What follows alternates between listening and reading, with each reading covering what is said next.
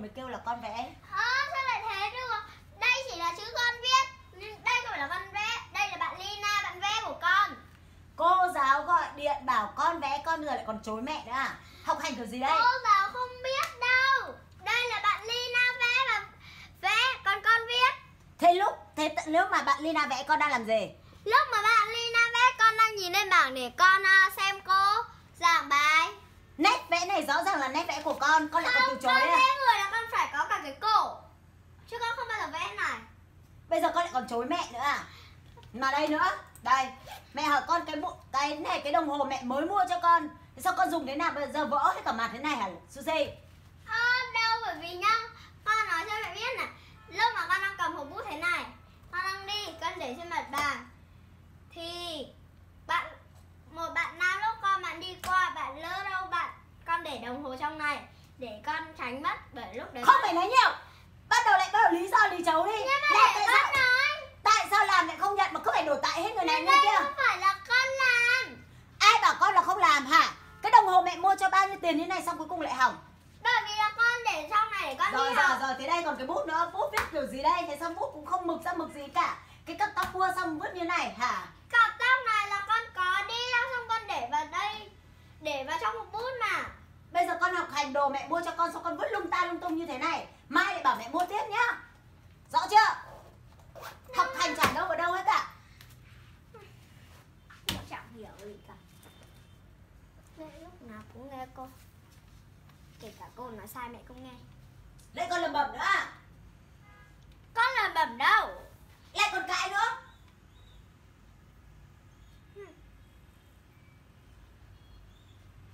Học với cả hành Mua cho bao nhiêu đồ sao lại vứt đấy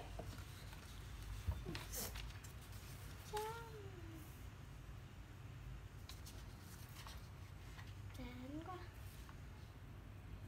Thôi, cầm hạt này, cắt bút đi.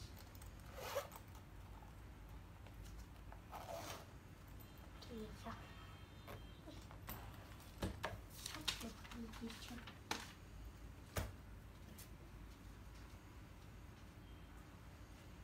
À, hôm nay tôi xin chia sẻ với à, quý phụ huynh chủ đề con hay đổ lỗi cho người khác không nhận về cái việc mà mình làm sai.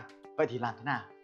À, tình trạng trẻ em mỗi một lần mắc sai lầm là hay đổ lỗi tại bởi vì. Tôi xin à, chia sẻ với cha mẹ luôn luôn lưu ý cái mệnh đề tại bởi vì.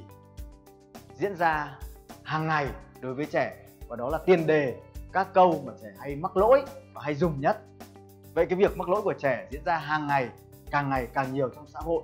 Các gia đình hiện nay, nhất là trẻ em được nuông chiều, gia đình có điều kiện sống ở các cái thành phố lớn thì trẻ càng đổ lỗi nhiều hơn, nói dối nhiều hơn, rồi là không dám chịu trách nhiệm nhiều hơn. Vậy thì đâu là nguyên nhân của việc trẻ hay nói dối, hay đổ lỗi và không dám nhận trách nhiệm về mình, không dám nhận cái sai về mình? Ngay từ nhỏ, trẻ đã được ông bà, bố mẹ chiều, mỗi khi trẻ vấp ngã hay là làm sai, làm hỏng một chuyện gì đó. Ví dụ như trẻ vấp ngã nhỏ nhỏ, thì bà bảo chưa này, tại cái ghế này, rồi là tại cái này, tại cái nọ. Rồi là gì? Lớn lên khi trẻ làm sai, đổ cái bình, đổ cái lọ, hay là đổ cái cốc nước.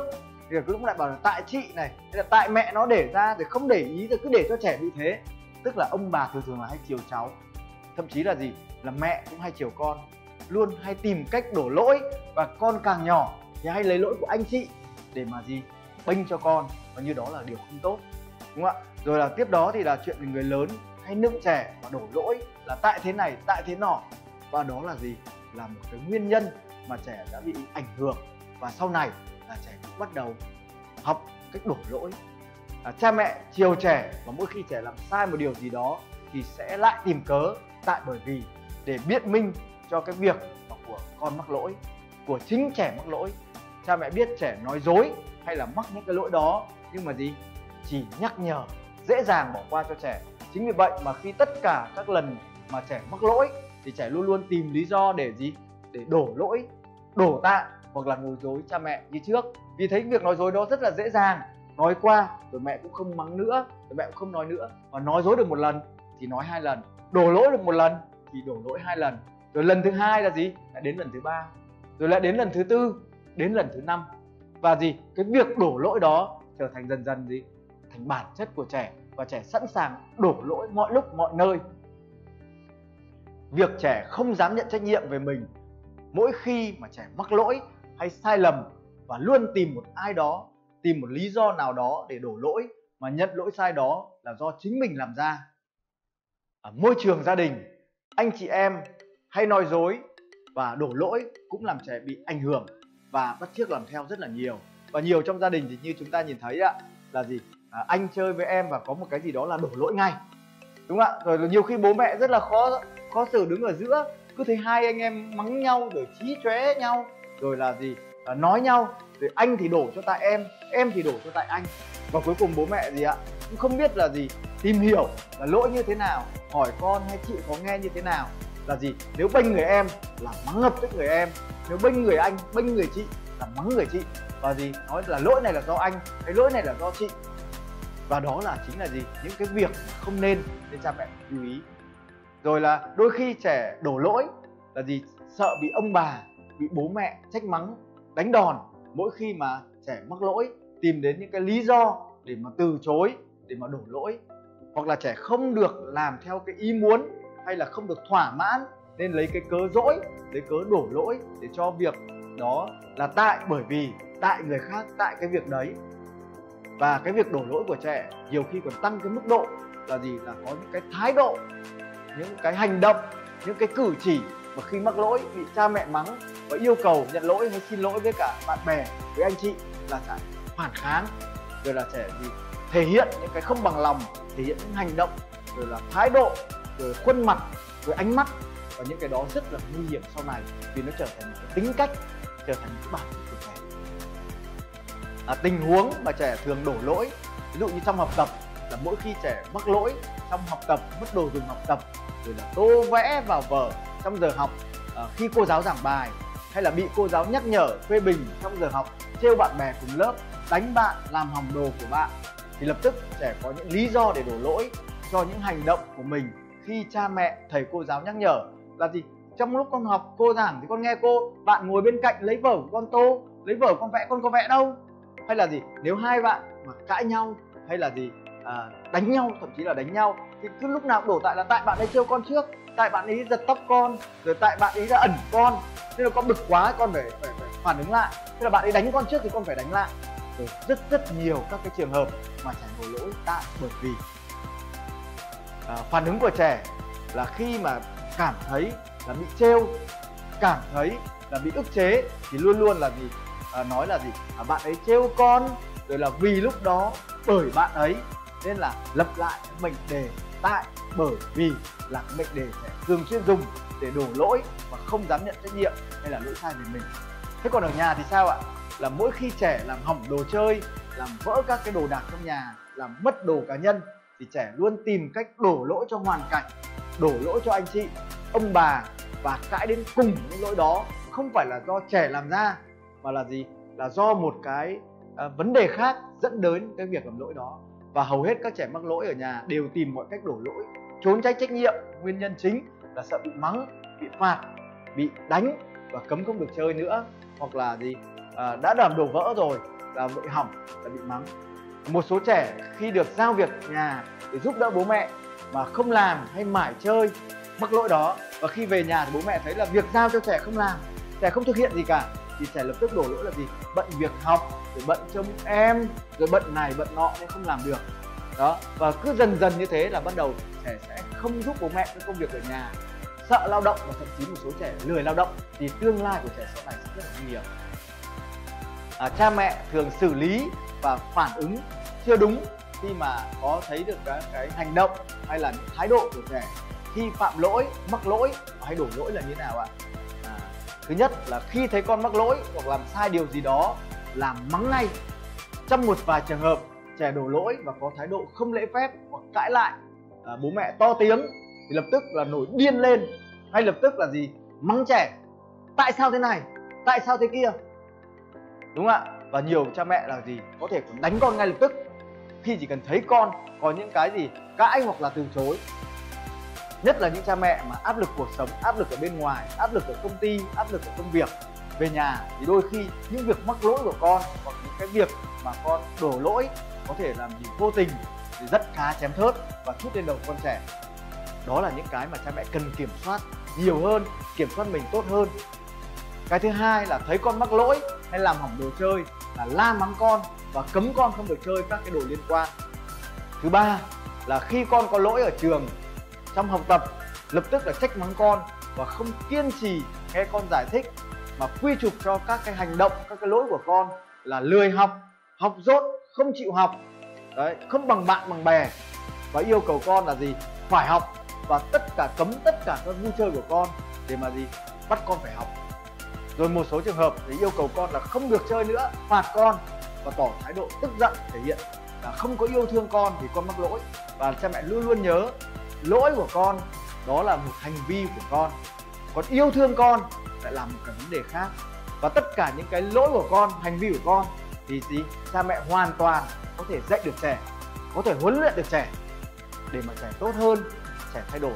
Nên thái độ và hành động sai của cha mẹ thường mắc phải. Đó là gì? Khi thấy con à, đổ lỗi, khi thấy con mắc lỗi là la mắng, là to tiếng, là tay chỉ vào mặt con, rồi xưng hô là mày tao.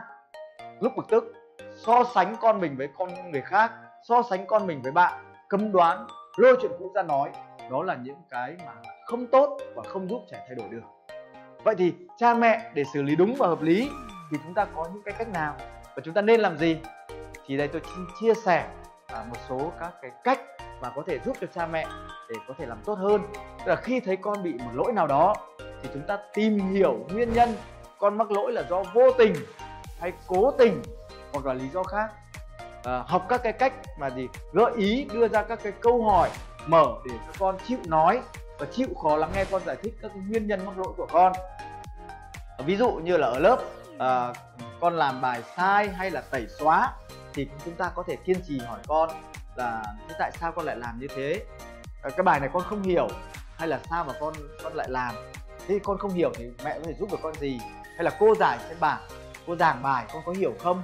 Đấy, cô giảng những chỗ nào không hiểu con phải nên gặp cô, con nói chuyện với cô hoặc là về trao đổi với mẹ để mà mẹ hoặc là anh chị có thể giúp được cho con, đúng không ạ? Và chúng ta phải lắng nghe con để tìm hiểu cái nguyên nhân, cái gốc của vấn đề là làm sao con mắc lỗi để chúng ta hiểu được tất cả những cái việc của con là do cố tình hay do vô tình mà con mắc phải. Và từ đó chúng ta từ từ để tìm cách xử lý đúng không ạ? À, cái bước hai là chúng ta dạy con hiểu việc sai là chuyện rất bình thường và ai cũng mắc phải cái việc sai đó đúng không ạ? Và quan trọng là khi thấy mình sai thì cái thái độ và cái hành động cái nội dung đó sai như thế nào? Và chúng ta hiểu cho trẻ là gì? Là cái việc sai thì khi mà cha mẹ hồi nhỏ cái thời cha mẹ còn bé bé này ạ à, là gì cũng giống như con thôi cũng mắc nhiều cái việc sai đó. Chúng ta nhận được cái sự đồng cảm của con, hiểu cái việc sai đó là rất bình thường. Nhưng quan trọng là gì? Con phải nhận cái việc sai đó là mình làm ra để lần sau mình thay đổi, lần sau mình rút kinh nghiệm và mình không làm sai nữa. Cái bước 3 là dạy con cách dám nhận sai và nhận trách nhiệm để lần sau chúng ta không tái phạm hoặc là sai phạm. Dạy con giải thích với con việc là gì? Đổ lỗi là không tốt và sau này trong cuộc sống nếu con cứ quen đổ lỗi sẽ vô tình làm hại bạn bè người thân và không dám nhận trách nhiệm với bản thân mình.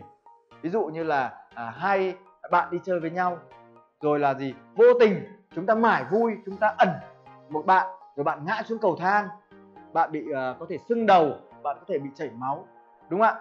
Và chúng ta nói là gì? Đấy là lỗi tại cầu thang lỗi tại bạn khác ẩn con có phải con ẩn đâu đúng không ạ? Rồi là tại bạn đấy đấy chứ đúng không? Nhưng vô tình là trong cái lúc mà chúng ta nghịch chúng ta nhận lỗi thì chúng ta đã làm bạn bị tổn thương đúng không ạ? Hoặc là chúng ta uh, trong cái lớp học bạn uh, không làm vẽ giấy con có thể vẽ giấy bẩn hoặc là làm gì rồi con lại đổ tại cho bạn.